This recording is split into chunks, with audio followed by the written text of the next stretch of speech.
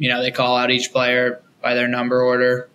You go around the circle, the lights on you, and they got to me, and I was skating, and I was every butterfly was going in my stomach. I was it like all hit me at once. It, it almost felt like, and then I was so nervous. My first shift just went horrible. It was it was just so many nerves, but that's when it really kicked in. I always think it's like funny that it like hit me right there. It was like, wow, this is crazy. Like First of all, this is my voice. I'm Tim Green and I have ALS. This podcast is not about ALS or living with disabilities.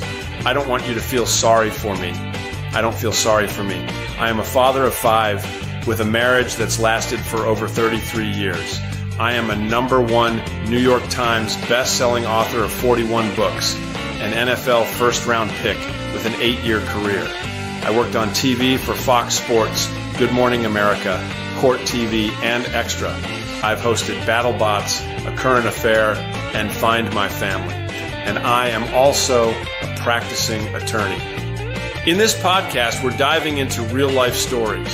From triumphs to trials, we'll explore the extraordinary in the ordinary. Join me, Tim Green, and my son Troy each week for real conversations, laughter, and insights.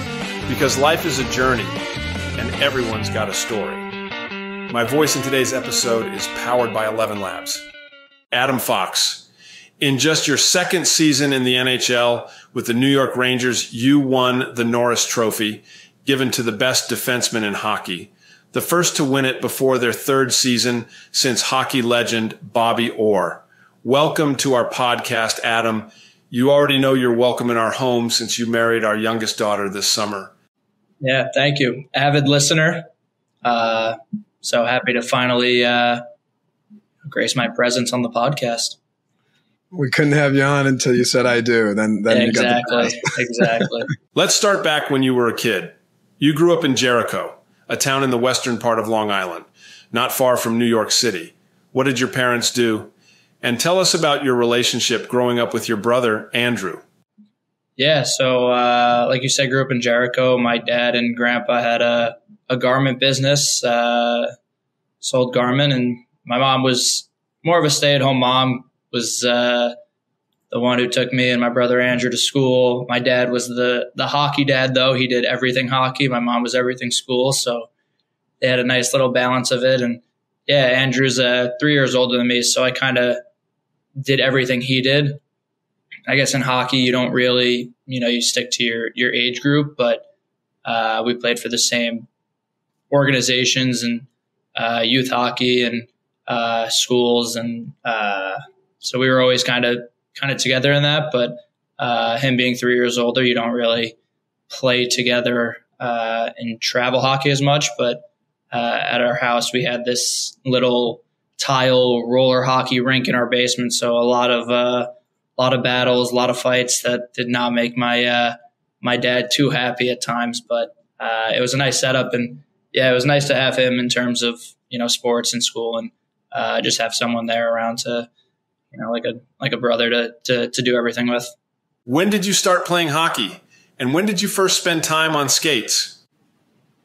I don't even remember starting playing. My dad says like two, three. Uh, I've actually talked to Troy about getting his kids set up with uh, with hockey, but uh, yeah, I don't even remember. I it's it's funny because I always say how frustrating it seems to learn how to skate, and luckily I was so young I don't remember not being able to. So it's always kind of just been something I felt I've known how to do. But uh, like I said, that rink my dad had set up in the basement that was probably there from when I was two years old and onwards. So I feel like I've always probably had a stick in my hand, some rollerblades on, and uh, yeah, my dad was a, a, big Ranger fan, so hockey was uh, definitely the sport he wanted to get me into. What about organized hockey? When did you when did you first play like on a team? Yeah, so I mean, again, to my knowledge, I played on this team, the Long Island Gulls, from six years old till I was 14, and uh, kind of played with the same group. I know played on some. It's like double A, triple A, and uh, so when I was like four or five, some with double A, but again, nothing's too competitive at that. You're not really traveling. And then uh, from six six years old on, it was the Long Island Gulls, and we were traveling everywhere, Canada. I mean, 5 a.m. to New Jersey, and uh, yeah, if you ask my dad, he'll he'll let you know he he woke up and took me there, and he'll he'll let you know that he was doing it. But uh, yeah, I think from from six on, that's when it was really the organized, and uh, the Long Island Gulls was pretty much the team from from then on out. Your father was a powerful influence on you, from taking you to watch the Rangers at Madison Square Garden growing up to giving you tips when you were watching hockey on TV. How does your father know so much about hockey? Yeah, uh, he'll tell you he's the smartest person when it comes to hockey, but uh, he actually does know the game very, very well. And uh, we always kind of have uh, the arguments because one of my strengths is you know, hockey IQ and ability to to see things on the ice. So we always say how much credit does he get for that, and and uh, how much is just natural. But uh, I think part of it is you know just naturally on the ice you feel things, but a lot of it is him just from a young age of.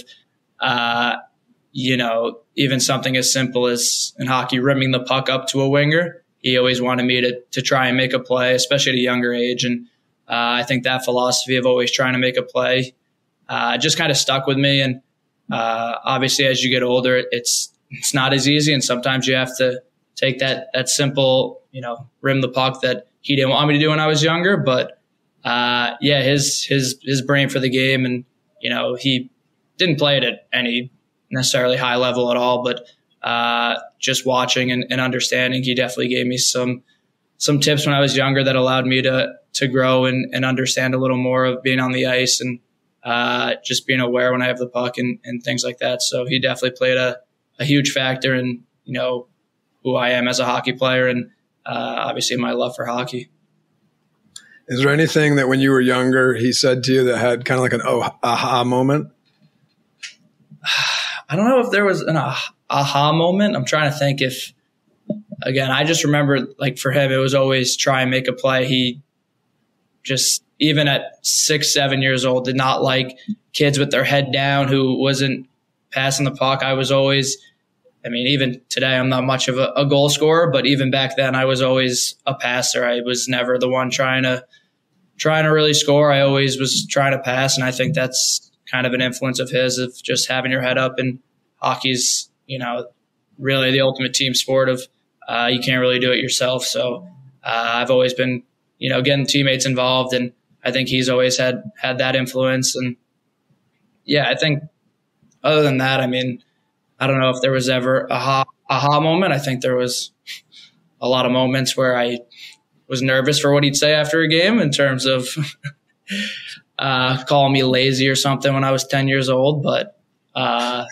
no, in terms of just making plays, I think that was the one thing that he, you know, always stressed to me. We've had quite a few professional athletes on the podcast, and one common denominator has been that everyone has dreamed of being a professional athlete as a kid, but not you. What were you dreaming about when you were growing up, Adam? Um, yeah, I mean, hockey was always a passion, but I honestly, yeah, can't say I thought ever about the NHL. I maybe I guess didn't think about the future that much. I know my my parents just wanted to kind of use hockey as a as a way to get into a better college and I remember having a conversation with my dad when I was 11, 12 years old and he was saying, you know, if if he could even get into Amherst, which is a D3 hockey team, he's like that's a win. Like he could do that and uh, you know, being from Long Island, it's it hockey's grown a little more, but you weren't really seeing it as oh, I'm going to make it to the NHL. Everyone or a lot of people from Long Island have made it to the NHL. So uh, I think for me, it was just trying to leverage it into getting into a better college. And I think once I hit 13, 14, then you start to, to realize, okay, the kids I'm playing with, the kids I'm just as good as or playing D1 schools, you know, being said they're going to play in the NHL. So I think that's when play becoming a, a pro hockey player hit for me. But when I was younger, it was just, you know, playing hockey for fun. And I think you always want to play in the NHL. I don't think it was ever something I thought could be real, but uh, I think just trying to get into the best school was kind of that that pathway where initially hockey was. if you didn't play in the NHL, what would you have wanted to do? Or I guess at the time, what did you want to do? Yeah, I don't know. I think uh, again, I I you're still a little young. Yeah, never really even even like when I was in high school, I never really thought like, okay, what is hockey? What if hockey doesn't work out? I don't know if I was naive or just in the present and not really thinking about about the future. Even as a freshman in college, I mean, granted, I was drafted to the NHL, but you don't know if hockey's going to work out. So I never really thought if hockey didn't work out. Uh, I know I've always been interested in finance. My brother does finance. A lot of my friends from school and and home are in in the finance world, so I'm sure that's something I would have gravitated towards. But uh, luckily, luckily, hockey did work out because uh, those people in finance also like to tell me about how hard their job is too. So uh, I'm happy I didn't have to think of something outside of hockey. Did you have any other interests as a kid? You mentioned your dad converted your basement into a rink of sorts, so I'm guessing you spent most of your time down there. But any other hobbies? Yeah, yeah. I mean, my interests, honestly, when I was younger, it's, it's boring. I, I, outside of sports, I really didn't really dabble in, in much. Uh, but it was everything from soccer, lacrosse, hockey, baseball. Uh, just kind of did everything in that sense. And yeah, even down there, I mean, we'd have friends come over. We played dodgeball down there, turn the lights off so you couldn't see the balls coming at you as a kid. Uh, so we just like to have fun that down there. I think, uh, you know, the number one thing, my dad is pretty old school in terms of, uh, you know, not being on your phone and, and getting out. And he'd always give the classic, when I was your age, we'd be at the park, just pick up games and, and stuff like that. So I think for him, his most important thing for me was, was just to be active and, and be having fun with friends. And uh, so I think most of my interest just lied in doing that. And uh, whatever sport, whatever game I could be getting into, it was mostly what I was going to be doing. Can you talk about your relationship with Charlie McAvoy, the star defenseman for the Boston Bruins? It started when you were just kids, right? As a side note, I spoke to him at your and Tate's wedding. What a lovely guy. After the Rangers, of course, now my second team to root for has to be the Boston Bruins because of him.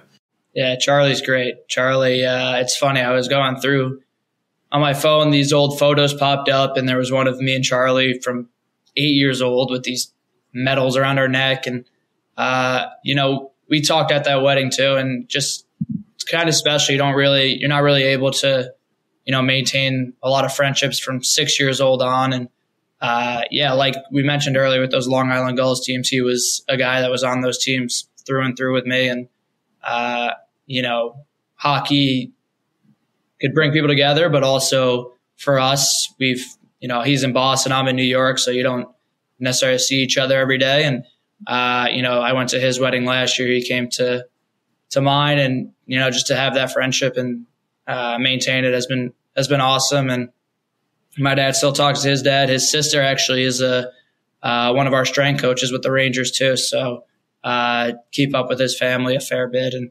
uh, yeah, he's he's the sweetest guy. I mean, just you talk to anyone, and there's not many people are gonna have a, if any, a bad word to say about him. So uh, he he could play kind of mean on the ice sometimes and use his his body, but off the ice, he's uh, he's great. And yeah, I mean, I I know he spoke to you guys at the wedding, and uh, you know, he's just like I said, the nicest guy, and to have that friendship over over the years has been just great. For people that that don't know or don't follow hockey as closely, um, he's you and him are typically up, and I don't know if you know. I know you're you're very humble, but you and him are typically up for you know being one of the best defensemen of the year every year. And you guys, so you played together. Were you from the same town or just just near each other? No, just near like 15 minutes. Like he was uh, Long Beach, I was Jericho, but we'd you know do the do the sleepovers, play play NHL on Xbox, and it was funny too because I uh, my mom brought over some. Uh, like just old accolades and, and things from from college and uh, to uh, our house here. And one of them was a, a plaque of uh, NCAA All American. They hockey they broke it up in East and West, and the two D on the the East side was me and Charlie. So uh, I just thought that was kind of cool. And I mean, yeah, growing up. You know, like I said earlier, Long Island, it wasn't really a hockey hotbed to to have uh, two defensemen who are you know all American together, and then like you said, being uh, you know, even up for an award like the Norris uh, together. It's it's crazy. I mean, I I'd bet money he's gonna he's gonna win with that eventually. And uh, but yeah, to to to have both of us from you know just Long Island, same age, be you know be able to do that together is, is pretty special. So you were just a kid when you go off to live with a new family in Michigan, or was it Minnesota? Anyway, you go off to play on some development team and to finish high school. Tell us about that. How does it work? And your mom couldn't have been happy having you leave the house. Yeah, it was uh, it was Michigan. It was Ann Arbor.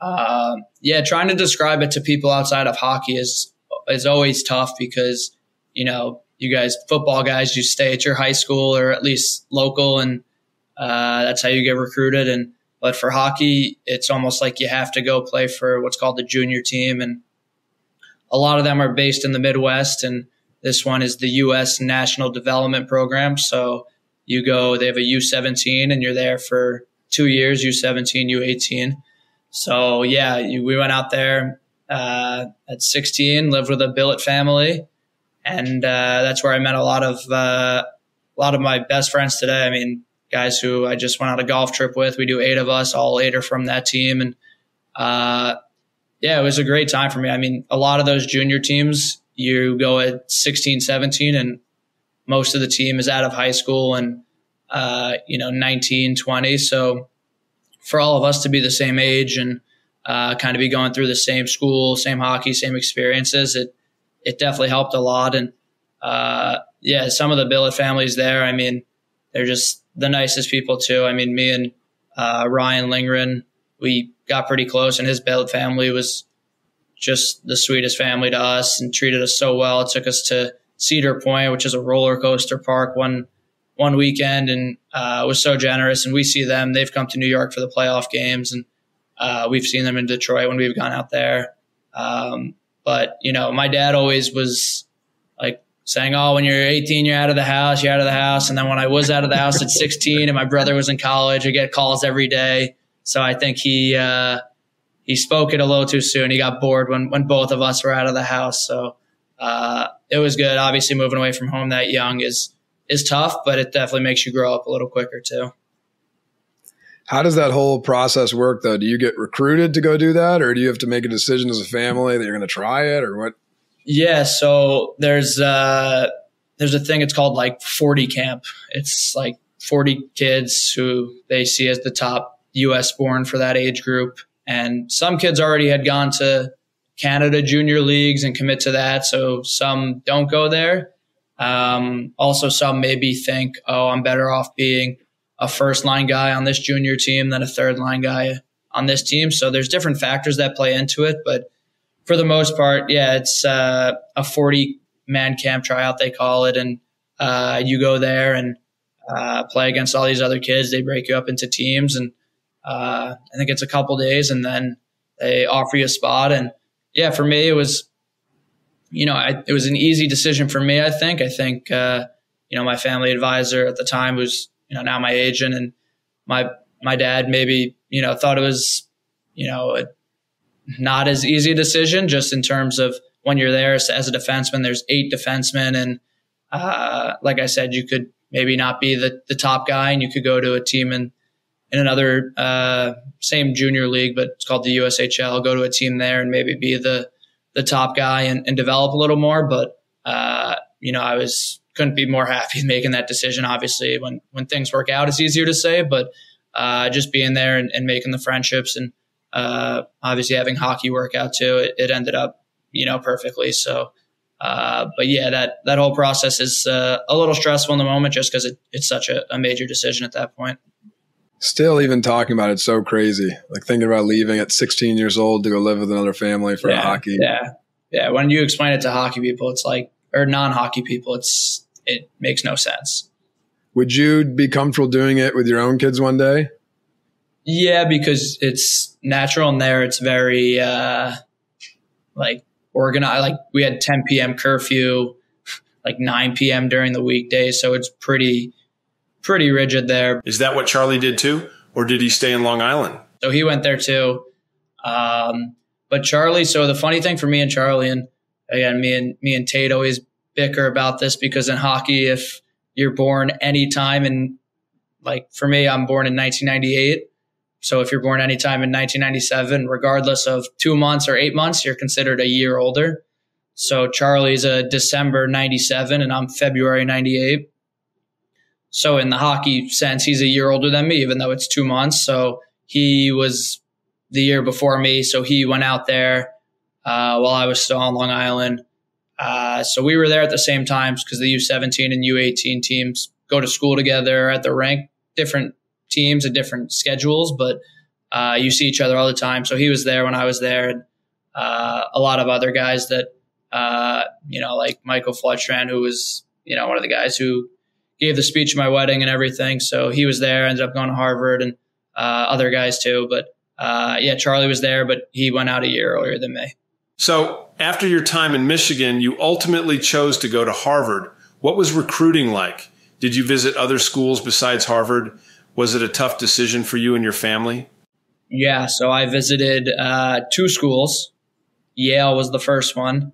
Um, it ended up I had we had to this so hockey. There's this bunch of like summer showcases people go to, and uh, went to one I think freshman year, going into freshman year, and uh, ended up Yale said come visit. I had gone to a Harvard thing, and uh, you know Ted Donato was like, "We like you, but you're young. We'll see." Uh, so I went Yale, visited there, going into my freshman year, and this they changed it now, but at that time you could verbal commit as a seventh grader if if you wanted to. It was kind of meaningless, I guess, at the time because they just said, "All right, you're committed." Uh, so it's going into my freshman year, visited Yale, and uh, we didn't think they were going to offer us. I thought it was just, uh, "I hear this is we like you, visit." At the end of it, they, you know, offered us, uh, you know, scholarship there, and uh, my parents we were stunned. But he, the coach, even said uh, credit to him. Like, I don't need an answer now. He wasn't pressuring us. He was like, take some time to think. Uh, so then, obviously, Harvard was the other school that you know was the only other one that I would be interested in. It was once Yale and Harvard offered. It was like I said earlier, education was the main thing at that point. I still didn't know hockey was going to do anything. So, uh, yeah, Harvard ended up offering, uh, you know, a little after that, and uh, I wouldn't say it was easy between the two, but I knew some some people who were committed to Harvard. Being in Boston seemed a little more my flavor, and uh, you know they had the Beanpot too, so it was kind of all that coming together. But I mean, academically, I could couldn't go wrong. But uh, those were the only two schools that I even got offers from and even you know considered. Adam, you're uh, obviously a very good professional athlete, so I can say this without hurting your feelings. You're not a physically imposing guy. So when you're in eighth grade, I mean, you're getting Division One schools, which obviously the Ivies for hockey is like, I, I, think it's like the SEC for football. I mean, where are you just always in the right place at the right time on the ice at that at that age, or like what what does a coach see like you obviously had, were recruited and got invited to the, top, the 40 camp and to go out to, to Ann Arbor.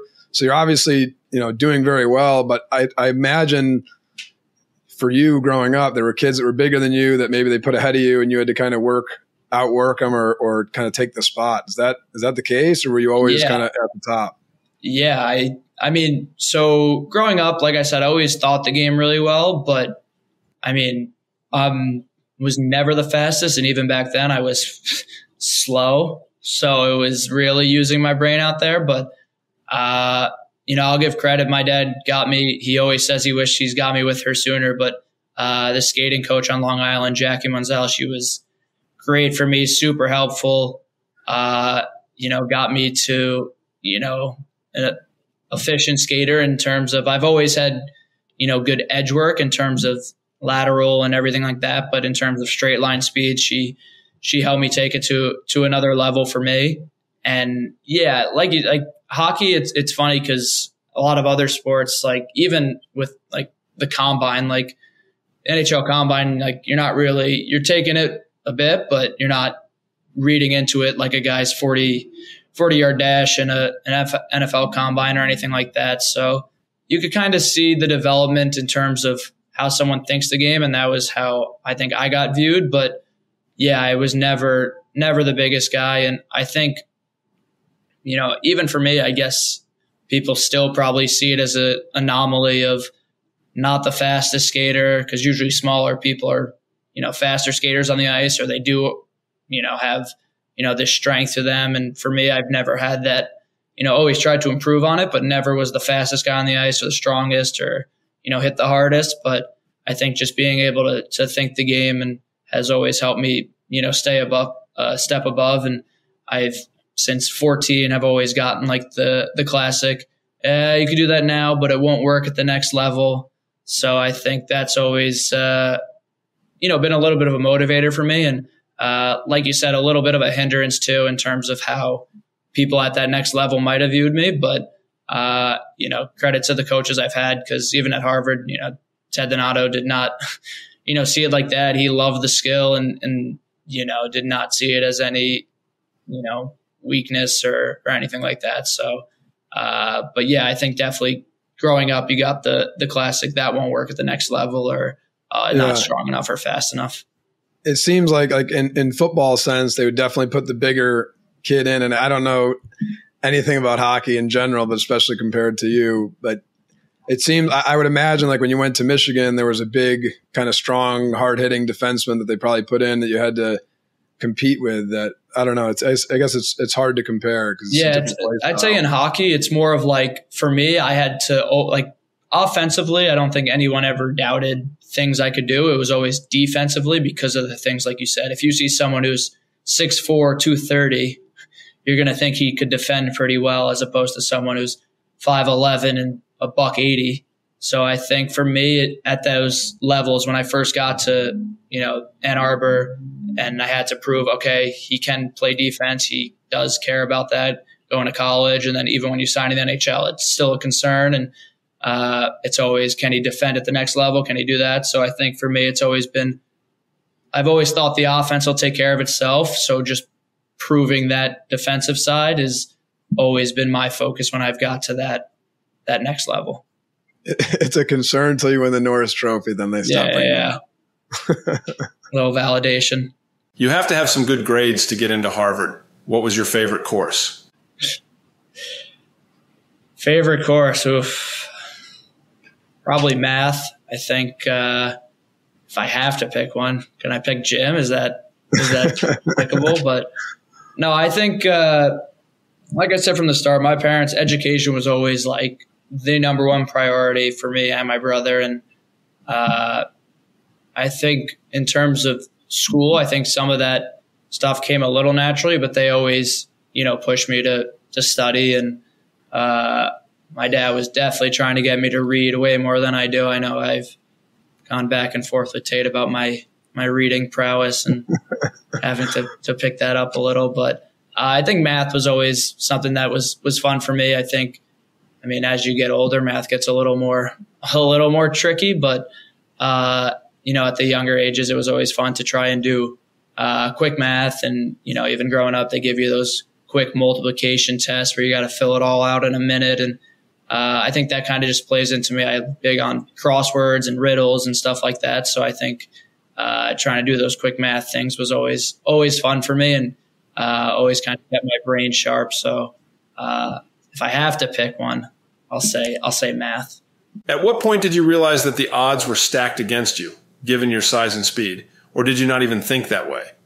Uh, I don't know if I ever, you know, realized it was stacked against me. I think it was more uh, people s- saying like, "Oh, like I said, that won't work at the next level." But when you're five to eleven years old, you're not really like, "Oh, I'm too small," or at least for me, I wasn't. Maybe hockey's a little different, but like I said, I was always able to to think the game well. So you hit that age where some kids are maybe hitting puberty before others, and you're like, oh my God, these kids are like, you start hitting at like 12. You're like, I'm terrified out here.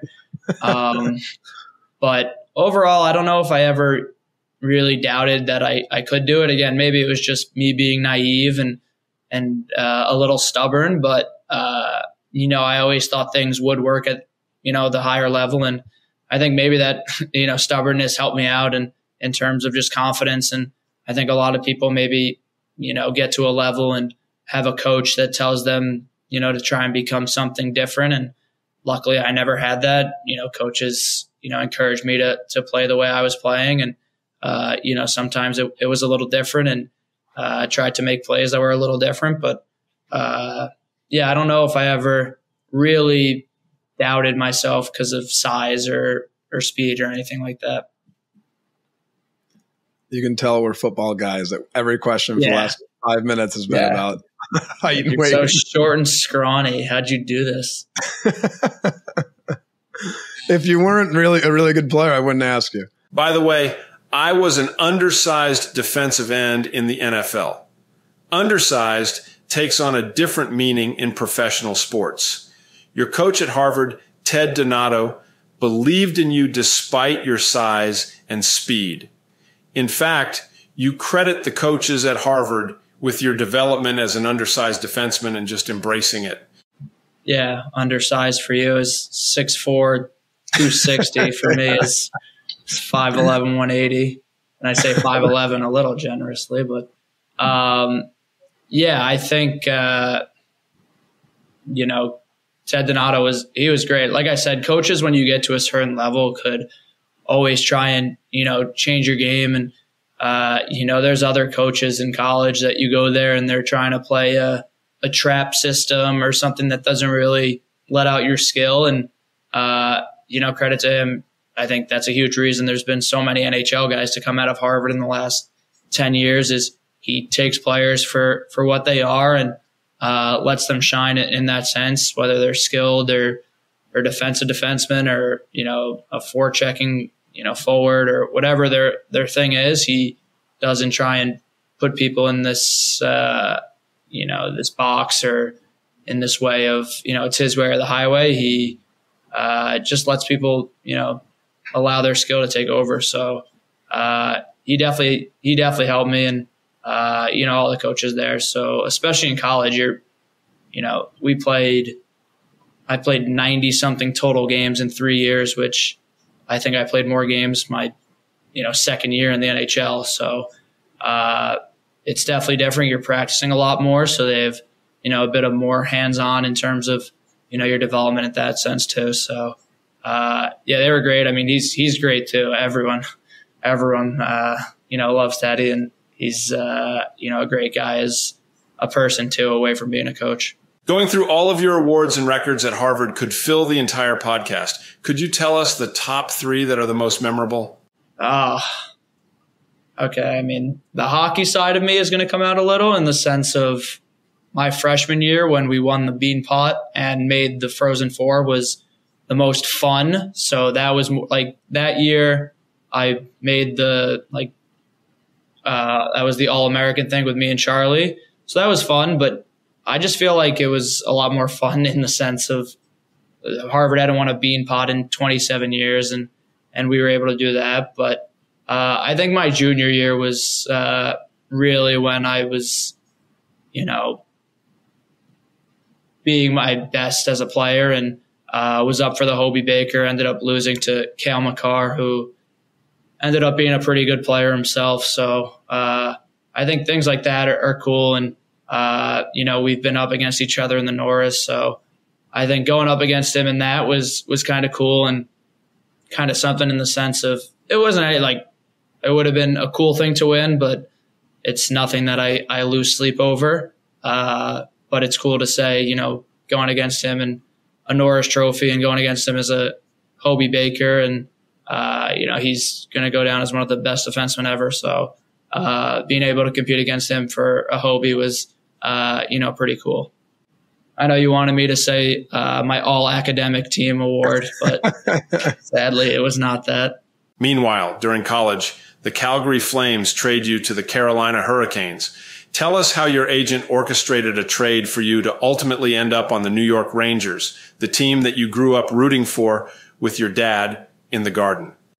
Yeah. So again, hockey in terms of, you know, I know we try and relate it to football. It's so different. You get drafted as a, you don't declare, you don't do anything. You're just part of an age group that's eligible. So after my 18 year at NTDP, was drafted by Calgary, and it's honestly like it's a special moment to be drafted, but it's also, you know, not like it's a little less of a, a meaningful thing than obviously football, where you get, you know, a signing bonus based on where you're drafted, and uh, you know, just it helps a lot more in that sense. In terms of hockey, you're for a lot of people, you're still going to college or going to a different team first. So I didn't really, uh, you know, think too much after. Just went to college and uh, you know tried to play well and, and enjoy it there. And yeah, then after two years there, was you know they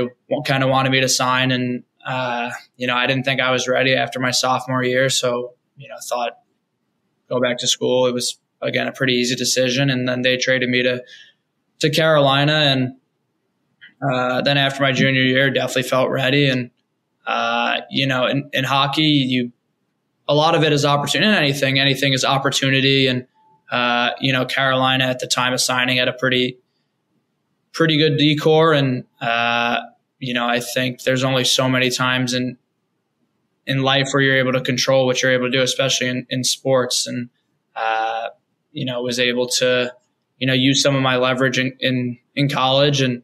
Uh, you know, had the ability to, to play for a team that's close to home and, and grew up rooting for. And, uh, not only that, they were also, you know, in a rebuild where it was younger guys were getting a big opportunity. And uh, I thought that was perfect situation for me, you know, not only being close to home and like, like I said, growing up for them, but, you know, being able to grow with a lot of young players. And, uh, you know, I'm happy that it did work out after, but, uh, yeah, I think for me, when you have that opportunity to control a little bit of, of what you're able to do as an athlete, it's, uh, you know, rare. So I thought it was it's a good to, to take that opportunity and uh, use that leverage.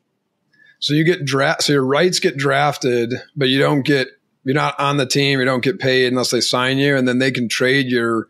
So your rights getting traded from Calgary to Carolina, you had nothing to do with. It just happened. Yeah. So yeah, that was more of me going back to school. So the reason for the trading of rights is after four years, let's say I stayed in college four years, you become a free agent. So Got that's it. like kind of the thing a lot of players have have done. So uh, you know, it's a CBA, right? It's in the the uh, the agreement, but uh, mm-hmm. so that's kind of where it's like they have your rights and uh, you know could use that uh, in terms of you could use that as your leverage or, or uh, negotiating a way to get traded or not signed somewhere. I know you get a lot of flack online about the the Carolina from Carolina fans about leaving to the Rangers, but I mean, it sounds like again, I didn't. You and I have never talked about this before. It sounds like it was just a better opportunity for you. It's almost complimentary to Carolina. They had such a good squad at the time. It was better for you, you know, personally to be in New York. It wasn't a slight at Carolina at all. Yeah, of course. I mean, and you get it. Like as like a player, like fans, like they're supposed to not like me. Like obviously they're not gonna not gonna like that. But it's again, it's also a compliment because if I flamed out and was in the minors and not doing anything, Carolina fans couldn't couldn't care less about trading me. They'd probably be happy with the return they got. So uh, you know, I think for me, obviously I get both both teams fans not being being happy, but again, I try to you know, you try and go about things the right way and you know, try and let them know. And, uh, you know, again, I have nothing but good things to say about both those organizations. Went to development camps there. They treated me, you know, very well. But again, there's only so many times you could put yourself in the best chance for a, a good sure. opportunity. So, uh, yeah, I figured to take advantage of that. Every every single person, angry fan or not, if they were in the same situation, would put themselves wherever they thought they would personally be, you know, yeah, best up, best set up. What was that like putting on the Rangers sweater and skating out onto the ice that first time? It must have been a dream come true. Yeah, it was crazy. It's funny. I say, so when I signed training camp, preseason, didn't get like nervous at all. Didn't like, I thought it was cool putting on the jersey, but didn't have like any butterflies or anything like that. And then made the team opening night and for the home opener, they do. You come out of, I guess, what you call the where the zamboni comes from, and you know they call out each player by their number order. You go around the circle, the lights on you, and they got to me, and I was skating, and I was every butterfly was going in my stomach. I was it like all hit me at once. It, it almost felt like, and then I was so nervous. My first shift just went horrible. It was it was just so many nerves, but that's when it really kicked in. I always think it's like funny that it like hit me right there. It was like, wow, this is crazy. Like coming out and uh, you know in front of twenty thousand, where I was once in the crowd there. So uh, that's when it was really the the surreal moment hit me. Let's go back to your time at Harvard University when you and I first met. I knew it was serious because Tate never had us go to dinner with a guy ever. What were your first impressions? Yeah, I mean, I thought you guys were great. I was nervous. I'd never met a girl's family before or her parents, so uh, yeah, it was it was fun. I was nervous on my best behavior, tried to just say as least as possible, and uh, yeah, it was it was fun. I think uh, I think Yank was there too, so I think he kind of loosened up the mood a little bit. I could be wrong about that, but I think he was. So it was good. Plus, I knew I knew uh, I knew Troy and Thane were the ones I had to, you know, really get to like me. So uh, who was there? Was was Ty there? I don't think. I think it was us five. Maybe maybe one other person. I just think it was uh, your mom, your dad, Yank, and uh, me and Tate. There could have been. I, oh, was Ty there?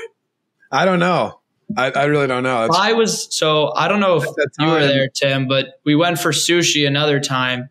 Me, your mom, Tate, and Ty. And I don't think your I don't think your dad was there for that one. He must have been there for lacrosse or something. And I don't know if Ty said a word.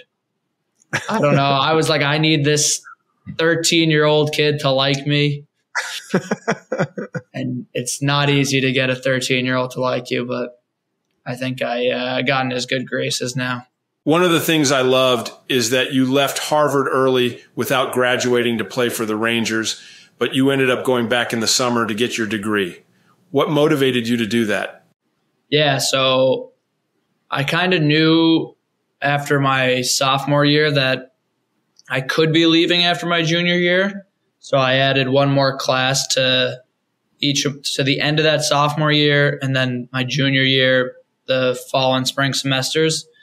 So when I left, I only had five classes left and it actually worked out. I mean, perfectly for me, obviously not perfectly in the sense of everything, but COVID allowed Harvard to do online classes. So they normally would never offer that. And you'd have to go there for seven weeks and, uh, you know, go into the lectures and, and everything like that. So I was able to do two years in the summer, three classes one summer, two another. And, uh, was able to to finish up, you know, pretty soon after. So it was good for me. It didn't like allow it to linger, and you know, you're at this point, maybe you're getting older. You don't want to spend uh, seven weeks in Boston when you're 30 to finish up two more classes. So it was it was perfect for me that I was able to get it out pretty quickly while that while that knowledge was uh, a little more fresh in my mind. What was it like playing during COVID with the empty arenas? It was weird. Uh, I mean, I'm sure it was more weird for other people. I mean, when some of the the teams we played in college and even ourselves sometimes at Harvard would not have, you know, ten thousand people. We'd have two, two, three thousand maybe. So uh, it was weird at first. I think you don't really understand the value of fans until they're not there. Um, so I think it was definitely awkward at first, especially that bubble when we jumped right into the playoffs and there's no one there. And yeah, they tried to pump in crowd noise and it's just, it's not the same. I think you really understand the value of fans again once they're not there, but uh, you adjusted to it and it was good, but of course not the same uh, adrenaline rush as 20,000 people there. Did it feel like a scrimmage almost? At first, I mean, jumping back into the the bubble playoff was was weird, but then after that, I think as that other COVID year kept going, I think then it started to. But uh, it was just like when you skated out, it was, uh, yeah, weird is the only way to, I think I can describe it. I don't have a, a better word, but it was, uh, you got used to it. At first, it felt a little bit like an exhibition, but then you just realized the 6'3, 210 guys coming in on the forecheck on you. So you're not really thinking exhibition anymore. Your first two seasons with the Rangers, I watched every single game on TV. It seemed like every single game you were getting noticeably better. Did it feel that way to you? Yeah, I think so. I mean, I think there's just things you you learn and uh, tendencies that work, things that don't, and just confidence. I think when you start out, you're you're just naturally going to be more tentative of uh, not wanting to make a mistake and and keeping things simple. And uh, you know, as you get that trust from coaches, like we talked about earlier, someone like me, I've always had to earn that trust from coaches as a as a defenseman. I didn't start out penalty killing in the NHL and was able to earn enough trust to get a shot and uh, did well enough where you know could be used on the penalty kill. So uh, I think things like that, you just get more confidence and get more comfortable each each day. And uh, once you get that trust too, I think it allows you to to play more free, which uh, you know for me has allowed me to you know play the best hockey I could play. Your timing was perfect because you then extended on a big contract with the Rangers for seven more seasons. Only then, with the stability and closeness to home, would I allow you to marry my daughter. Ha! You know that I'm kidding. I loved you from our first dinner together at Legal Seafood in Cambridge, and so did Tate. Yeah, yeah. I mean, probably helped Tate make the decision easier to marry me, but uh, no, it was yeah. I mean, loved you guys too from the start. Throw it out there at Legal. It was a great dinner, uh, but yeah, I think the after that second year, you know, you're able to sign a contract in hockey a year before. I don't know if it's if other sports are, are similar like that, but uh, you know, you start the negotiations and you know, at a certain point it's crazy because you let the agent do most of it, but they start throwing numbers at you that you never imagined being being thrown at you. But uh, you know, there is still a, an aspect of of negotiating, and I think for me it was you know I didn't want to be you know too greedy or or anything like that. And a bunch of defensemen had signed deals at, at that time, Charlie being one of them. So there was a general range that that we knew we'd we'd fall into, and uh, going long term was always the the goal. I don't think it was ever a, a thought to to do something short. So uh, being able to sign that, it was it was awesome. Yeah, I still remember like you know I was trying to keep my parents in the loop, but not too in the loop because, like I said, when you throw some of those numbers around, it's hard for them to not just, you know, say to you, "What are you doing? What are you doing? Take it, take it." Um, so I think I was trying to keep them, and then uh, we were in Vancouver when I eventually signed it, and me and Tate always have a. I don't know anymore, but when we'd all when we'd have something that would be big accomplishment or whatnot, we were always in different places. So of course I was in one of the furthest places in Vancouver when I when I signed that contract. So uh, yeah, it was awesome. Got to you know tell my parents, and uh, you know once that pen hit the paper, it was definitely a sigh of relief. Did you know you were going to stay? I mean, you wanted to stay with the Rangers, being uh, the team chemistry and being a fan of that and close to home. Would you? Did you ever even think about testing free agency? No. So yeah, this is me explaining the hockey a little bit. So until you're like 27, you're a restricted free agent. So okay. it's not like I could end that contract and go somewhere else. It would have to be like, you know, we really couldn't come or to terms or anything. But it was more you could do a, what's called a bridge deal, like a two or three year contract, and uh, that gets you closer to that Uf- UFA where you then could Got sign it. anywhere. Um, so for me, it wasn't about, oh, I'm not going to be here. It was, I want to be here long term. And, yeah. you know, signing that two, three year deal could set you up for better for that next one. But it wasn't anything where I thought I didn't want to be here long term. So, uh, no, nothing ever in terms of a short term deal. That one was for the Rangers. Yeah. Probably shouldn't have dumbed down the hockey as much. I think I think it's good because I don't. I mean, yeah. I don't know our average listener, but I don't know anything about. I mean, I yeah. I know the only thing I know from hockey is that video game, and then what you and I have talked about, which is not that much. Yeah, you know the top guys in 2016. yeah, 2016. I'm lights out. is in the net. Yeah, you got to say Lundqvist. Yeah, that's right. Yeah, Lundqvist, we couldn't get, we couldn't draft him in the first. We'd had to draft. I'm trying to remember who we played. Oh, uh, Stamkos is who we drafted yeah. in the first. Who would have been at that time? Steve Nash or somebody? Steve Na- Rick Nash. Rick Nash. Steve Nash is a WWE wrestler. No, Steve Nash is the basketball player. He's also a WWE oh, wrestler. Really? Oh, yeah, Steve Nash, the the point guard. Yeah, maybe that's what I was thinking. I know I mentioned this at the Open, but I wanted to hear more about it. In just your second year in the NHL, you win the Norris Trophy given to the best defensive player in the league. The only other player to win this before their third season is the legendary Bobby Orr. How did you feel when they called your name? Yeah, it was uh, crazy. I was having a so it was after my first year. COVID hits come back. It's that COVID season, and you know it's the shortened season. Came back, just tried to build off a good rookie year, not thinking I'd try and like win the Norris Trophy, and uh, just had a good year. Had a really good stretch. Like had a really long point streak that year, and uh, just kind of was playing real confident and.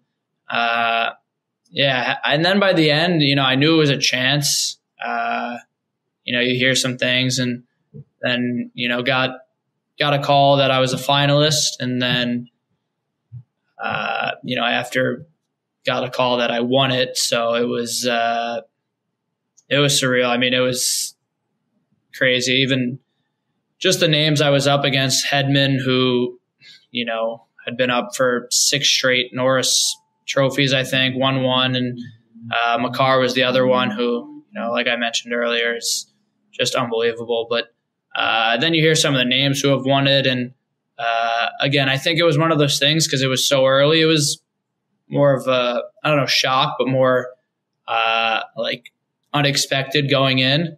Uh, but then to win it and you know tell my tell my parents, tell my brother, it was uh, it was special. It was it was really cool, and then it was the COVID uh, awards, so it was all all online. So there wasn't like this award show in Vegas or Nashville or anywhere where, wherever they have it.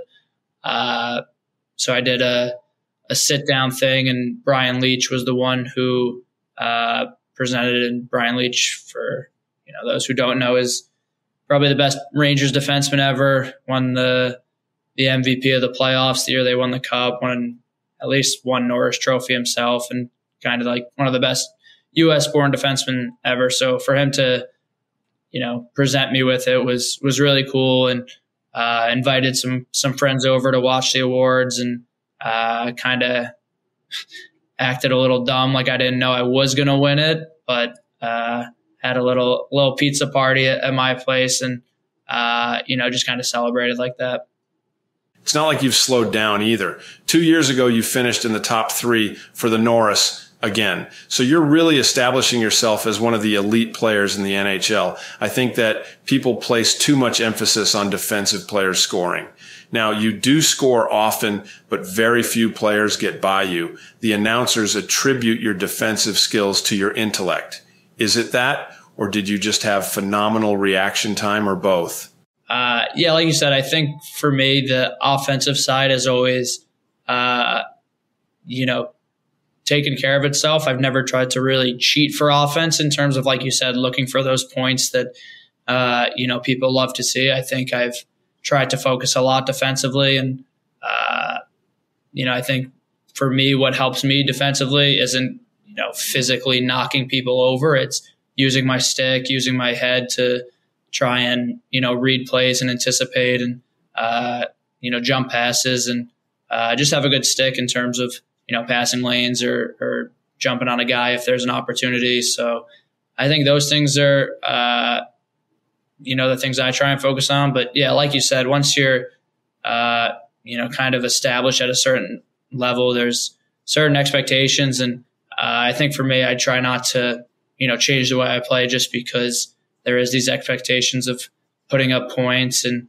uh, doing this and that. I think I've always had the mentality of, you know, points, especially in hockey, will take care of themselves. If you're playing really well, if you're making the right plays, things take care of themselves. Especially as a defenseman, you can't control if I make a pass and a guy scores or misses the net or the goalie makes a nice glove save. So uh, I think just trying to do the right things each game and uh, kind of letting that other, you know, point stuff and and things of that nature take care of itself.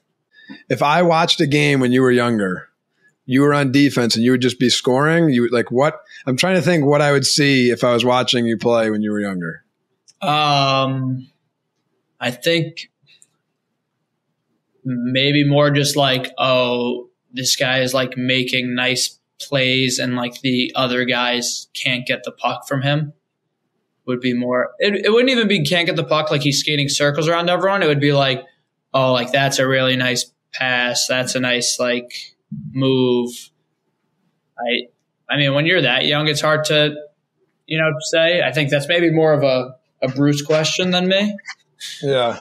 But because you're, I mean, because you're saying like you're like, well, at 13 or 14, that's when I kind of started to know I was good. Like 13, 14, it's more just like it's not like you're taking the puck all the way and no one's touching you and you're scoring.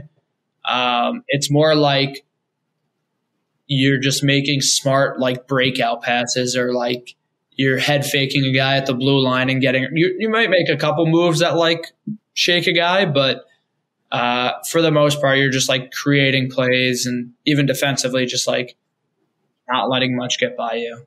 Got it. I'm so clueless with it. Like in football, you'd see a running back, and you know when they're young, they're like, "Holy Yeah. cow!" They cut back the whole field or whatever. Yeah, I guess it would be like maybe like a point guard in basketball would be the best equivalent because he's not like who's just like making the right making the right plays. reads, making the right, yeah. Yeah, You live a blessed life, my friend. You know that I am obsessed with my Christian faith and that I truly consider what I'm dealing with health wise, suffering from ALS, as a blessing. I know that might sound crazy, but I believe that this is a second chance that God has given me to prioritize my life based on the teachings of Jesus Christ, who was Jewish, as I know you are. And I revere what the Bible refers to as God's chosen people. Can you talk about what being Jewish means to you? yeah. I think I think for me, like being Jewish and uh, you know, it's important. My family, you know, I come from a Jewish family, and even just being in New York, being on the Rangers, you get a lot of comments from, uh, you know, that just naturally there's not many Jewish athletes out there. So I think uh, you understand that you're an influence to kids, and uh, kids look up to you. And uh, I think for me, trying to, you know, just carry myself in that sense, understanding that, uh, you know, being a Jewish athlete, kids are gonna you know, Jewish kids are going to look up to me and, uh, you know, kind of make me a little bit of a, a role model in that sense. So, uh, yeah, I'm proud of, proud of being Jewish. I think it's, uh, a big part of my background and definitely something I, uh, take a lot of pride in. The Rangers had the best record in hockey last season and won the President's Trophy, but you guys lost in the Stanley Cup semifinal to the eventual champion, the Florida Panthers. It's a long, grueling season. Can we expect the Rangers to be contenders again this upcoming season and maybe win it all? And what did your team learn from your run so deep into the playoffs? Yeah. I mean, of course, my answer is yes. Uh, but I think it's when you get to you know that point in in the season, it's just the margins are are so little. Like even every game against Florida, and granted there was games they outplayed us, and uh, but it's still one goal games. Every game besides one game was a. I think there was three straight overtime. Uh, every other game was besides the first game was a one goal game, and even when you see them in the cup final against uh, Edmonton, it comes down to a game seven, one goal game, and uh, I think you know they always say you got to lose before before you could win, and, and things like that. And you know, no one wants to lose. No one wants to have the team that is you know the best regular season and then uh, you know doesn't win the cup. But it's hard. It's uh, you know we've obviously the two years prior. I think I think this year we you know we're a little more you know ready. I think you know that two years ago we made the conference finals against Tampa and uh, you know played 20 games in in 40 days and. Uh, I think that's another thing. I think injuries happen, and uh, you need health to be on your side. And there is a little bit of, of luck factors, but at the same time, you you know have to take advantage of, of opportunities. So uh, I think yeah, it sucks when when you don't win it all, obviously, but you just got to come back, learn from it, and and stay hungry. I think look at Florida last year; they lost in the Cup final, learned some things, you know, learned about winning those tight games, those two one games that uh, hold a lead and be able to protect a lead late, and I think those are things that you build on and uh, gain that confidence going into the next year. Now, on to our final word segment, where we ask our guests a few rapid fire questions. What was the happiest moment in your life? Getting married to Tate. what is the biggest adversity you've faced? Uh, oof. Oof. I've actually been so fortunate not to have. I guess, I mean, recently, I guess just injuries, I think, has been the, the one thing that I've had to overcome recently. What are you most excited about? Now that I'm I'm married, eventually just having a family, and uh, you know, I think that's something that uh, I'm definitely looking forward into the future, and uh, for hockey, hopefully, you know, hosting the Stanley Cup one day. The name of our podcast is Nothing Left Unsaid. Do you have anything you want to say? Uh, no, I just want to thank you guys for having me. Obviously, uh, you know, I've gotten very close to you guys, and uh, you know, support everything you're doing with the the podcast and the tackle ALS, of course, representing the shirt. But uh, yeah, I think I mean it's it's been great. You guys have obviously been nothing but nice to me, and uh, you know, just super thankful to be so accepted by your family, and uh, you know, happy to you know jump on this podcast or uh, do anything to you know obviously help the the cause whenever. So uh, just thank you guys. Adam, I always try to end every podcast with the same question. One thing that was important to us is to have on a lot of guests from different backgrounds. Uh, we didn't want it to be just sports or just ALS or just writing and all that, all that good stuff. So, who are a couple of people you know that you think we should have on the podcast next? Uh, I think Charlie would be a great one. McAvoy, I think he'd be he'd be great. Uh, you know, in that athlete realm of someone who has, uh, you know, a good background and is just overall a good person. I think uh, someone I've gotten to know pretty well recently. I don't know if you may know him, Troy, but Nicky Cass. He's uh, I met him through doing the uh, you know bagels and Fox thing where I interviewed interviewed some uh, personalities and he was one of them. And he's just the man. He's hilarious. Has such a positive outlook on life. I know your dad would love him in that sense, and uh, he's starting so many different ventures. And uh, he started with just YouTube videos or TikToks or you know putting stuff on Instagram, not YouTube, Instagram and and TikTok, and just put stuff out there. And he's blown up, and he's starting different ventures of his own app, and uh, just started this thing called Entrepreneur where he uh, is teaching people how he does all his business things. So he's funny. He's probably got great stories to tell. So uh, he would be a great, great guest for you guys. Uh, those are two awesome ones. Adam Fox, it's been such a pleasure spending this time together and hearing you share your story. Both Troy and I are proud to call you family and love you. May God continue to bless you, and we will see you soon. Thank you. Thank you for letting me come on the podcast. Love you guys, and uh, hopefully it blows up. We'll do episode two after you guys win the Stanley Cup. We'll do it. We'll Amen. bring it back. Follow up the first recurring guest. yeah, that's right. All right. See you, Adam. Thank you. So yeah. Thanks, guys. Barclay Damon LLP is proud to be the law firm sponsor of Tim Green's podcast, Nothing Left Unsaid. For more on Barclay Damon's team of nearly 300 attorneys with regional, national, and global reach from our offices across the northeastern U.S., Washington, D.C., and Toronto, go to barclaydamon.com. Today's episode is also brought to you by NurseCore, the heart of healthcare. This is the home healthcare company that I personally use. I also wanted to give a special thanks to all my amazing nurses. For more information, go to nursecore.com. I want to thank my partners at Barclay Damon for supporting this podcast, NurseCore for their truly amazing team, and of course, ElevenLabs for their incredible technology. If you like today's episode, a free way to support the podcast is to subscribe and share it with friends. Thank you. A significant amount of these sponsorships go to tackleals.com. For cutting edge ALS research at Massachusetts General Hospital, if you want to make a contribution, go to tackleals.com.